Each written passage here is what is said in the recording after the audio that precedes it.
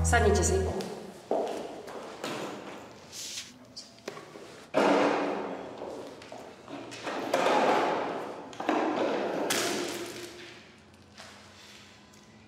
Rada by som vás informovala, že to, že ste svojho syna neodovzdali mojej klientke pani Horvátovej v dohodnutom termíne, sa považuje za porušenie rodičovskej dohody. No, ale to je len také malé nedorozumenie. Ja som totiž to zabudol e, presne na ten čas, na ktorom sme sa dohodli. Bez ohľadu na to vás chcem upozorniť, že som podala návrh na súd na zákaz styku maloletého Mareka Bobulu s jeho otcom. Tu prítomným Marekom Bobulom starším. A čo to má znamenať? Prepačte, ale ja tým vašim právnickým rečičkám vôbec nerozumiem. No tak si to nechajte vysvetliť u svojho skúseného právnika. No, myslím, že toto nie je priestor, aby sme sa tu osobne urážali, nie? Ako myslíte, kolega Becker? Môj klient rozumie pojmu zákaz styku. Takže by som Marečka už nemal vydať? No, tak zdá sa, že našim právnickým rečičkám predsa len rozumiete.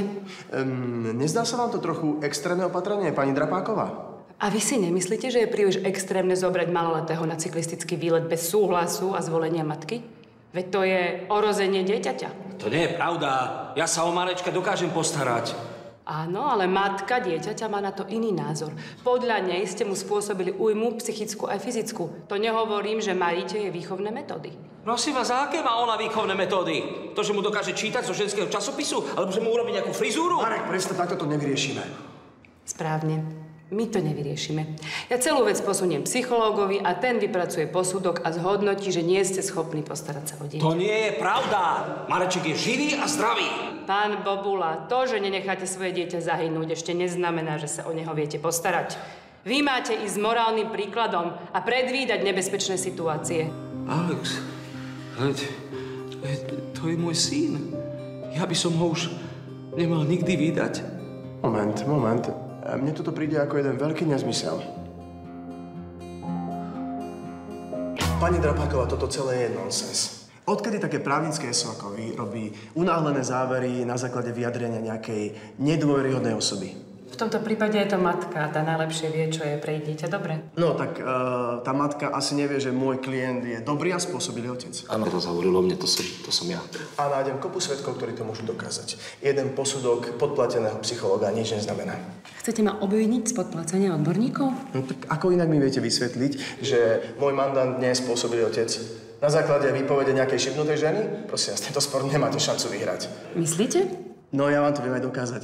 Viem vám dokázať, že práve táto šibnutá žena nie je spôsobila na výchovu maloletého syna. A viete čo?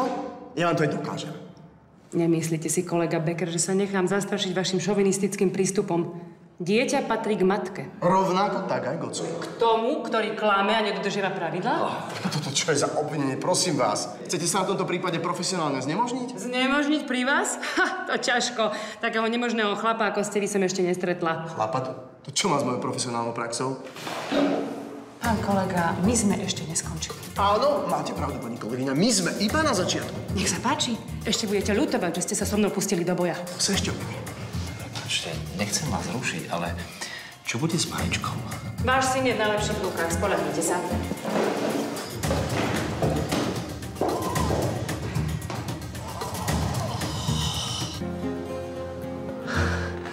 Ja si... Ja si dostanem záchvat. Ale veď ona mi ho nemôže zobrať. Nekolabuj mi tu, prosím ťa, nez, nezoberie ti ho. Ja... Ja si odpadnem. Je, je, je. Tu máš, tu máš. Dýchaj si do toho. Marek, tu máš.